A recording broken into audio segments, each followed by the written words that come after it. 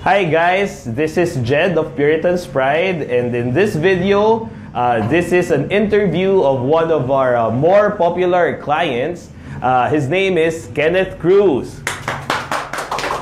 Hi Kenneth, nice to have you here on our uh, Thank you din, shop. Oo. Invite din ako dito. Yeah, yeah. Siyempre, isa ka sa mga loyal customers namin eh. So, Kenneth here is a commercial model. He is also an actor as well as an athlete. So, Kenneth, ah, saan ka ba nakita sa TV noon? Kasi nung nag-order ka, sabi ko, Uy, si ano to eh. Ah, okay. Oo. Siguro sa ano, uh, first appearance ko kasi sa TV talaga to commercials. Mm-hmm, TV commercials. And yung ah, most popular commercial mo? Yung McDonald's before, yung year- years ago na yun eh. Yeah. Yung kamusta crush mo. Oo, Yung pero ano yun ha, isa sa mga awarded ads yun. Oo, yung kamus yung may may bata na nagtanong, 'di ba? So parang may brother brotherly conversation Mm. yun. Parang kamusta yung crush mo? And uh, aside from that, lumalabas ka rin sa Sa mga ibang shows ng GMA before. GMA. And uh, I think you have an upcoming movie, right? Yun, may upcoming movie kami sa MMFF, Mm-hmm. yung Right About Love. Kasama ko sila Rocco Nasino, Yen Constantino, Joel Bascon, and Miles Ocampo. Ayun. Yun. So, guys, uh, sa December yan. So, I hope you guys can support Kenneth. So, Kenneth here is, uh, like what I've said earlier, is one of our uh, longtime clients. So, kailan ka ba first na bumili sa amin nun? So, mga 2014, 2015, gano'n. Yeah, oo. 4 to 5 years ago. Oo, oo, oo, di ba? Ganun ang katagal. Na as in, parang every 2-3 months, kaya excited kami pag ano, eh, lalo na yung mga kasama kong girls. Pag, minsan, di ba, pumipick up ka pa eh, ng, Oo. ano, ng supplements. So, matagal na rin, no? So, Oo, matagal na. uh, what are your favorite supplements? Uh, favorite supplements ko yung L-carnitine, melatonin, pati yung glucosamine. Mm, okay, yan. Na- nakita ko yung huling order mo. Kaya para sabi ko nga, ah, i-ready namin yan. And then, uh, yun nga, uh, bakit nga ba? Why Puritan's Pride of all supplement brands? So, why Puritan's Pride? Kasi syempre, um, sa panahon ngayon, we need to be practical. Mm-hmm. So, for being practical, reasonable yung price, and quality, maganda, Mm-hmm. sobra. Tapos, nakilala ko siya sa parents ko. ah, okay. Mm, Kasi yung mga yung parents ko gumagamit na ng mga supplements, yung mga vitamins, mga fish oil, fish oil. Mm-hmm. Yeah, meron kami Oo, noon. oo, Tapos, oo. Ayun, pasalubong ng, ano, mga tito from States. Yun. Kaya, Mm-hmm. I see. nakilala ko din yung Puritan's Oh, Pride. pa- parang before talking to us, 'di ba? Parang nagulat ka pa na parang may nagbebenta na officially ng Mm. Oo, Puritan's yun. Pride. So, yeah, totoo 'yon, no, na parang uh, a lot of our customers actually, they found out about Puritan's Pride from their titos and Hmm. titas abroad. So, ito yung mga favorite na mga pasalubong ng mga tito natin na galing States.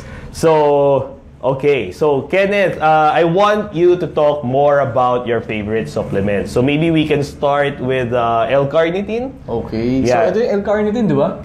Yeah, yan yun, yan yun. Oo. So ito, tinake ko ito yung L-carnitine nung nagpapapayat ako. Mhm. Kasi before kasi tumaba ako like mga 160 pounds. Wow! Oo, Pero sa ngayon, nag, parang hindi mo naman na kailangan ah. Ah, kailangan pa din naman. Maintenance, Diba? maintenance, Maintenance. so. Tsaka, syempre may goal tayo sa katawan natin. na Mhm. gusto So, what natin sa- happened when you were uh, 160 pounds? So yung 160 pounds na yun, kaya naging ganun ako kataba. Kasi before, skinny talaga ako eh. Oo. Eh, first time ko kasi sumabak sa showbiz. Mhm, eh, mhm. Nag-show ako sa GMA before. Eh, hindi ko alam yung kainan pala doon. Grabe. Parang kakain ka 6 to 7 times a day. Wow! Tas, uh, so, parang may buffet ba doon? Ganon? Yeah, parang may buffet. Parang kakain ka Oo. ng, pagdating mo sa shoot, kain ka ng breakfast. Bago mag-start. Bago mag-start. Oo. And then lunch. Oo. Then merienda. Mhm. Tapos may dinner ka. Oo nga. Then may midnight snack ka. Mhm. Tapos aabutan mo ba yung breakfast ng morning Bago umuwi. bago umuwi. Kasi ba parang all day yan eh, mm, no? Ang pinaka-crucial pa doon talaga yung mga food na dala ng mga co-actor mo. So parang yung mga ano, pag nag-share sila, Oo, ganyan. yung mga oo. pa-pizza, pa-pansit. O, yung pa naman yung malakas sa show, guys. Eh, three times a day kami nag-shoot. Oo. Tapos pag uwi ko, tulog. Hindi wala nang, nga, wala nang exercise. Wala nang exercise, wala Oo. nang workout. So, eto, ginamit ko siya, L-carnitine. Pinag-prepare kasi nila ako for Cosmo. 2 to 3 Mm-hmm. Ah, Cosmo, the magazine. Ah, yeah. Mm. So, may 2 to 3 months ako para magpapaya. Mhm. Tapos, Anong target weight mo doon? target weight ko is 140 pounds. So parang mga 20 pounds. 20 pounds. Oo. Tapos, yun nga, eh, knowing Puritan's Pride, nakita Mm. ko, may L-carnitine din sila. Mhm. So, trinay ko yung L-carnitine nila. Mhm. Kasi syempre, mas trusted na yung... Yes, it's your family's using Yeah, it na eh, using it. right? Oo. So, trinay ko yung L-carnitine. So, pag try ko sa kanya, ang bilis ko pagpawisan. Mhm, So, mhm. ginagamit ko siya as pre-workout. Ah, okay. So before you go to the gym, like ilang minutes or hours? Siguro 30 minutes. 30 minutes. Mm. Oo. Tapos, nakita ko yung difference na, kasi nag-gym ako sa air condition na gym. Mhm. Kapag hindi ako naka-L-carnitine, Mhm. Wala yung pawis ko parang kulog. Parang hirap. Oo, Oo, hirap, hirap lumabas. Oo, oo. Pero yung gumamit na ako ng L-carnitine, Mhm. parang 2 to 3 minutes na sa treadmill. Sobrang tagaktak na yung pawis ko. oo, Oo, talagang may mga spots na ng pawis ko dyan. Mhm, mhm. Yun. So parang kitang-kita mo doon sa floor yung Oo. fats, yung calories na Calories binurn mo. mo. Oo, Tapos, oo. ang isa pa kinagusto dito, nagsisilbi din siya parang energy booster or adrenaline Ah, na okay, tumataas. So parang yung certain peak ng lakas mo, sa Oo. strength mo pa nagbubuhat Mhm. ka, di mo akalain na mas mahigitan mo siya. Oo, wow. So actually, uh, no, ba- based on a lot of research, no, parang yun sinabi mong yon na energy booster, Mm. fat burner, uh, yan yung mga sinasabi ng research about L-carnitine. And if you guys notice, uh, there are a lot of products actually that have L-carnitine as their active ingredient. Bawal lang ako magsabi ng brands, pero I'm pretty sure you've encountered a lot of commercials already about it. So, yeah, um, just like Kenneth, uh, marami rin kaming customers na, yeah, it's one of our best sellers actually. Uh, kaya, uh, I hope you guys also try L-carnitine. L-carnitine. Mhm.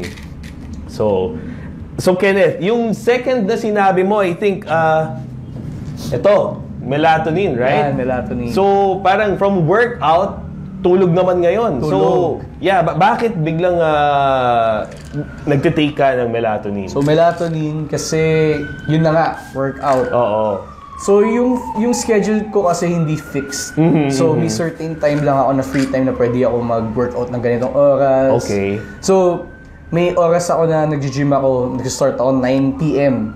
Oh, sobrang late, Late na, na. oo. Tapos natatapos ako 11. Mhm, And then mhm. kailangan mo pa mag-wash up 11:30. Mhm. And then the other day may call time ka, mga appointment ka na 7 to 8 a.m. Mhm, morning. mhm. So, buhay na buhay pa yung katawan mo. Siyempre, yung adrenaline nandun pa. Yeah, yeah, yung, oo. yung muscles mo parang... Parang pumped pa- up ka pa up eh. Oo, gusto, tama. Gusto pang may gawing physical activities. Oo, oo, oo. So, eto, yung melatonin kasi, parang pag ginamit, ginamit nung ginamit ko siya, Oo. Actually, kahit ano eh, di ba? Pag yung gising ng ibang tao, kapag gusto mong matulog kasi may nahabol ka ng oras, Oo. di ka Mas fresh. eh. lalo ka. Oo, yun. Hindi Oo, fresh. oo, oo. Pero nung ginamit ko itong melatonin, yun, yung paggising ko nakala mo, sobrang fresh mo na parang hindi mo problema yung pagtulog. Parang sobrang haba nung Oo, haba. mahimbing na Mm. tulog. Nakali mo, Oo. minsan nga, eh, hindi na ako naiihi eh. Di ba? Pag natulog tayo, naiihi pa tayo. Ay, magigising ka middle of the night. Nakakalimutan ko oo, dahil tama. dito. Mhm. Mm. Actually, totoo yan. That's also one of the feedback of our other customers. Kasi parang, in fact, yun nga, uh, as research has supported rin, no? Na parang tuloy-tuloy yung tulog mo and it even uh, makes your dreams more vivid. Parang mas ano nga yung ano, parang masyado kang ano dun sa panaginip mo na hindi ka nagigising. So yun. Kasi, ah, yun nga, ah, if I may add, no, yung melatonin kasi, it's a natural hormone. So, it's a hormone produced by the body. So, meron na tayo niyan. Yes. And what it does kasi is it, uh, it, it serves as a signal na parang sabihin nung ah, katawan mo, tulog na tayo dun sa brain mo. Para, yun nga, para makatulog ka. So, with by taking melatonin, it's like adding uh, dose of that hormone. Hormones. Especially in moments like yun nga, pumped up ka, pero kailangan mo makatulog. Siyempre, kulang pa yung melatonin sa katawan mo eh. Yes, So, tama. that's uh, that's how it works, basically. So, Kenneth, tanong ko lang, uh, since you've encountered sleep issues, di ba? Yes. Why haven't you tried other uh, other sleep pill, sleeping pills, ganyan, other sleeping drugs? Mhm. Why melatonin? So, based on yung pagiging healthy niya Oo. and quality, Mhm, tapos, mhm. yun na nga, reasonable, affordable. Mhm. So, kaya siya, at saka yung pinakagusto ko, natural way. Yeah, tama. Oo, Oo, kasi, oo. eh, alam mo yung ibang gamot kasi minsan, hindi siya natural na parang may hindi natin masabi may side effect kasi Oo, hindi siya natural oo. way. eh. Mhm, mhm. So, may iti-trigger siya sa body natin na para makatulog ka. Mhm, Unlike this na parang dadagdagan lang niya yung melatonin sa Oo. katawan, yung hormone mo para makatulog ka na maayos. Tama, tama. Pero totoo yun kasi yun nga eh. Siyempre, if you take like yung mga drugs na for sleep, uh, there are definitely side effects. Yes. Oo, na hindi present if you take mela- me- melatonin. So, thank you, Kenneth. And uh, yung last na tinetake mo, ito, Ayan. uh, ito, glucosamine chondroitin MSM. Uh, this is the double strength. Oo. So, why are you taking glucosamine? So, kaya ako siya tinitiking glucosamine kasi yun, uh, active ako sa sports. Mhm, So, nagbabasketball ako, nagwo-workout ako, gym.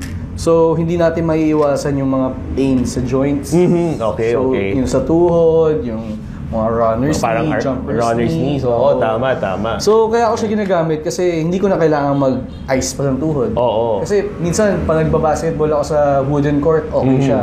Pero hindi naman everywhere may wooden court eh. May, Oo. may mga semento. Minsan pag nagbabasketball ako sa semento, sumasakit yung tuhod ko. Oo nga. So, kailangan ko ng ice pack para balutin siya, para mais yung For, pain. for recovery For yun eh. recovery din. oo. So, ito, yung ginamit ko siya, parang nawala yung pain eh. Mhm, Hindi mhm. hindi instant na mawawala. Oo. Alam mo yun yung parang it takes time pa din. Pero mas mabilis, Mas mabilis parang siya ganon, recover. oo. Yeah. Yun. Mhm. So, ayun, kasi yung pag ano naman mga joints natin, it's not like na matanda ka. Siyempre, mhm. May cause din yan sa disease and injuries. Yeah, yeah, oo. no. So parang, kasi kapag, alam mabilis sumakit yung tuhod mo, Hmm. chances are, anytime soon, pwede kang ma-injury na rin, eh, di ba? If you keep on like playing Yes. basketball, oo. Alam mo, ah, yun nga, if I may share to our audience, no, yung glucosamine na yan, na actually, a lot of our customers are actually athletes. And uh, some of our customers I even uh, recognize kasi they're the ones who usually play in the, uh, sa TV, ganyan. I, I won't uh, name any names, no? Pero, yeah, marami tayong supporters ng ganyan ng mga athletes, like mga volleyball players, yung mga mahilig mag-marathon, yung mga Yun. Ironman, yan. So, yeah, uh, that just shows uh, na, yun nga, a lot of people are taking glucosamine and it's actually effective. So, yeah, thank you, Kenneth, for Thank your you time, din. ha? Uh, thank you for Thank you, your Jen. tips. Yeah.